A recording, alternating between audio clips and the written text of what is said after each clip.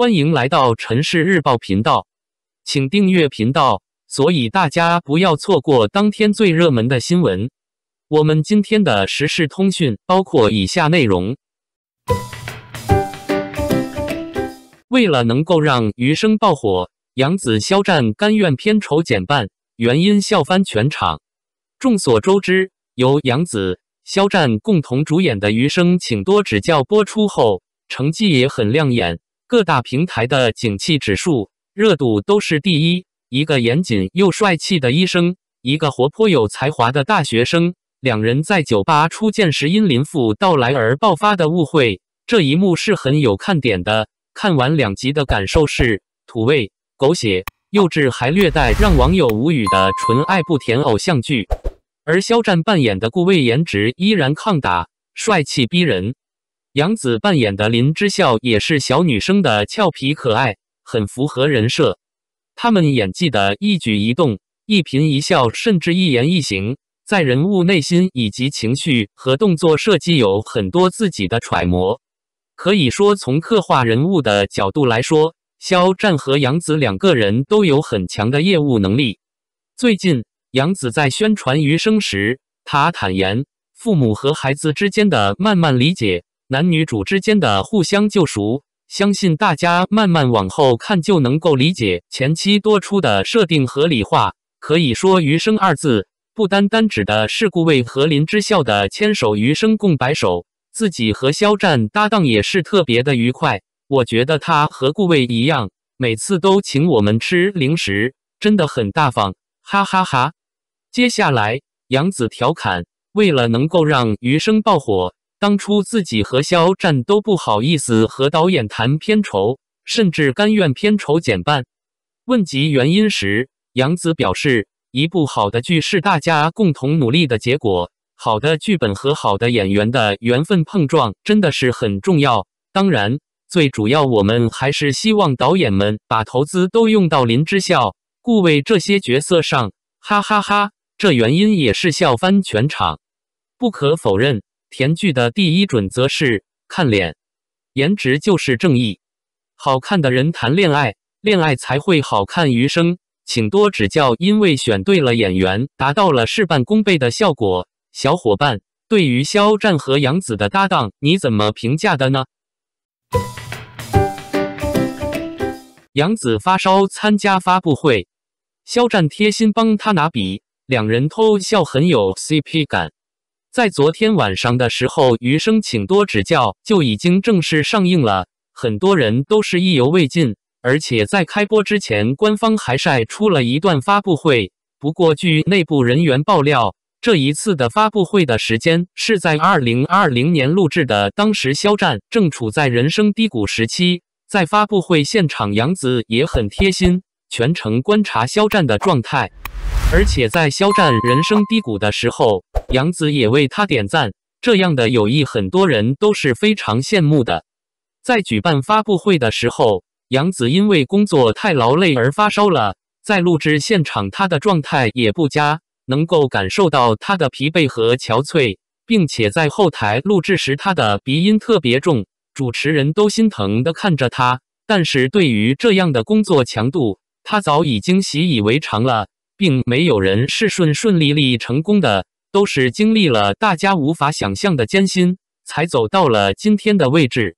而且在发布会结束的时候，肖战也非常贴心，帮杨紫装了一支笔在自己的口袋里。当大家准备签字的时候，肖战偷偷的从自己的口袋里拿出一支笔递给杨紫，脸上也是宠溺的笑容。当旁边的演员看到这一幕的时候，也是一脸姨母笑。而且杨紫和肖战他们两个对视时偷偷笑的模样，很有 CP 感哦。其实无论在剧中还是在剧外，肖战和杨紫的性格很相似，都是很正能量的，三观特别正。等待了两年之久的电视剧，终于顺利和大家见面了。虽然这期间经历了很多的磨难。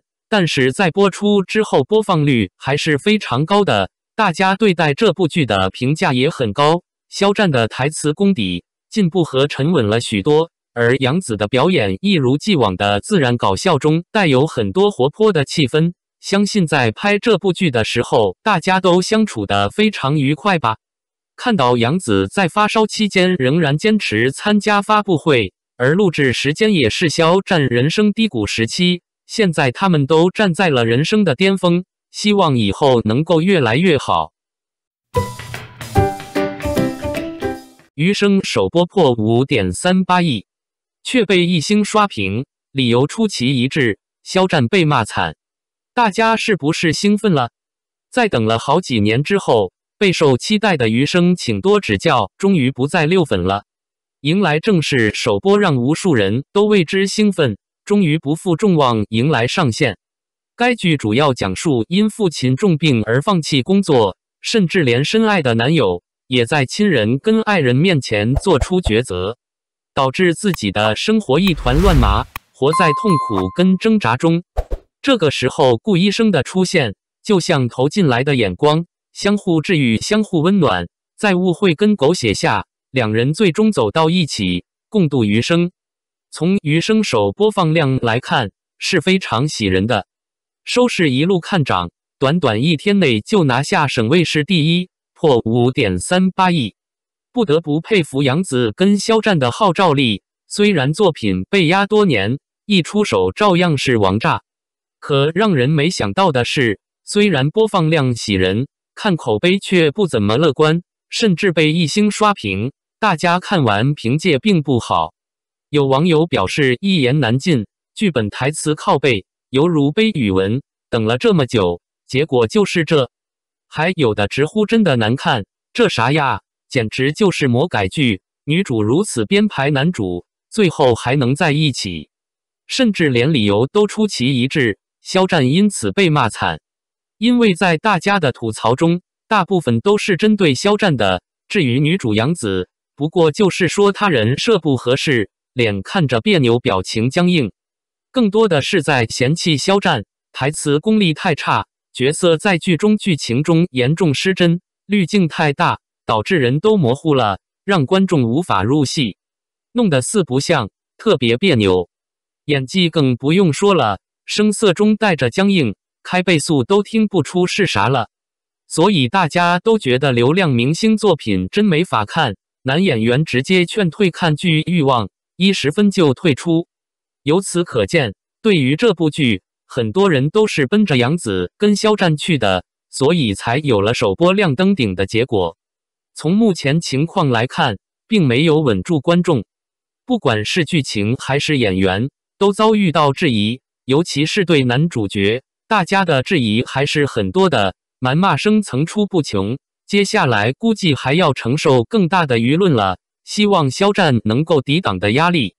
另外还有一个原因就是原著粉，他们普遍对改编的影视剧不满意，从评论语气跟字眼中也能看出来，照搬原著内容，书粉们都看不下去，觉得太过平淡。这也是导致一星刷屏的根本原因。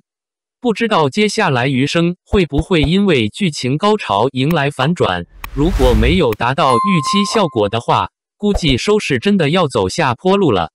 毕竟这部剧被耽搁时间太长，不管是场景还是服装都偏于落后，再没有刺激剧情，观众们很难追下去。不过这也仅仅是个人的看法。对于杨紫跟肖战。还是比较看好他们的，不管是颜值还是人气，第一炮算是打响了，就看后续的功力，说不定会稳坐第一。但如果达不到，那结果就不言而喻了。不知道你们看完是什么看法？是不是真的喜欢余生？有在认真追剧吗？感谢您观看视频。如果您觉得本时事通讯有用，请不要忘记点赞。评论和订阅，祝您生活愉快，充满活力，再见。